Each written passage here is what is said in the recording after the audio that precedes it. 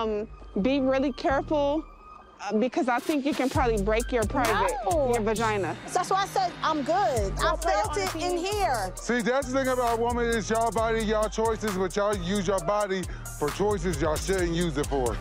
Karlie's Hot Pocket get hurt. NBA players, NFL players, scammers, record execs, record deals. That thing is worth a lot. You know Karlie got a platinum box.